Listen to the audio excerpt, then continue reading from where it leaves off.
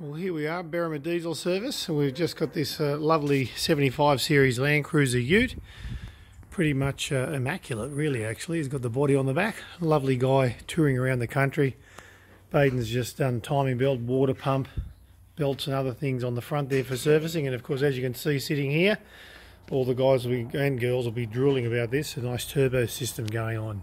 So I've cleaned up all the studs and the surfaces and faces, getting gaskets ready turbo here is ready to uh, slip on which is pretty much as easy as it'll be. Then of course all the piping and everything to uh, connect everything up and get air flowing to the engine. So it's something we've been doing a really long time here and people might wonder you know why do people turbocharge diesels? Well as we say a diesel's got no problems getting fuel. If we take a look over here and those injectors were done yesterday you can see that the injectors there's six of them and of course you've got an injector pump down here and that still needs a bit of tuning which we'll do later. But there's plenty of fuel. All these great big plunger pumps and big high flow nozzles and all this sort of stuff as far as we're concerned are BS. Maybe if you're talking four times the output of the motor on some weird custom rig, maybe. Other than that, a complete waste of money and it's more like having a chrome dipstick on your car.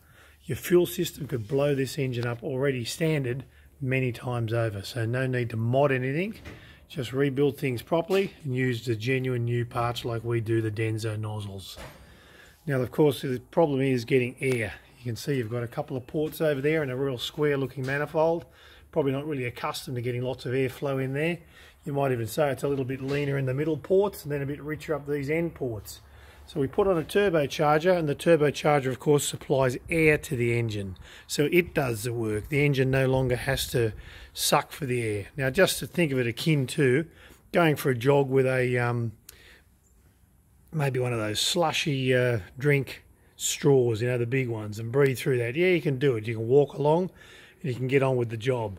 But of course, once you start walking faster and faster and start running, you'll soon find that you just don't have enough get up and go to, um, you know, an air getting into you to keep you moving. And of course, you start starving of air.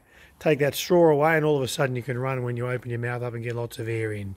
So with the diesel, it's exactly the same. Loads of fuel getting in there, not much air. So when you put a turbocharger on and set it up properly, you fix that problem. You get lots of air to a diesel, run it lean and clean and cool. You'll increase your power and torque about 40%. That's more than sufficient for a non-turbo engine that wasn't designed for turboing and it'll last forever if you do that. But go 60, 80, 100, 150% like we see these massive kilowatt gains.